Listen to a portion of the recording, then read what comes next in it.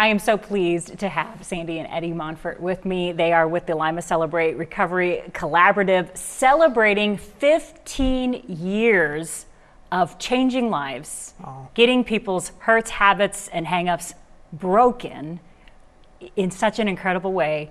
And uh, to do that, there is a really great concert. Well, it's not a concert, it's a comedy type. Yes. It's a everything. It's, it's just everything. good and everybody needs to come, right? Everybody yes. needs to come, absolutely. So let's talk about the Skit Guys that are going to be here on September the 18th.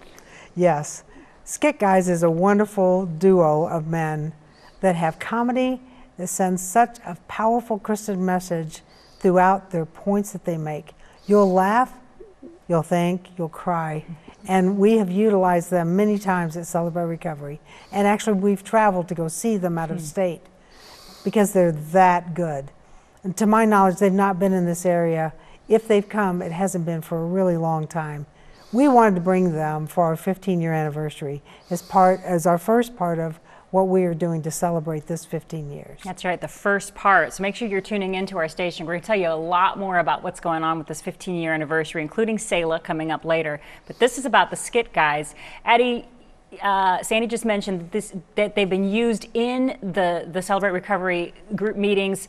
What are their, are they funny? Are they, well, tell me what they're like. They, they are funny. They, they give a very spiritual message uh, through humor, and it's it, it, it grabs you and and you you understand it very easily. It's you know it's like a parable. You know they're they're doing something completely different than than telling you. They're showing you something, and, and these guys are. Uh, not a lot of people around here have heard of them.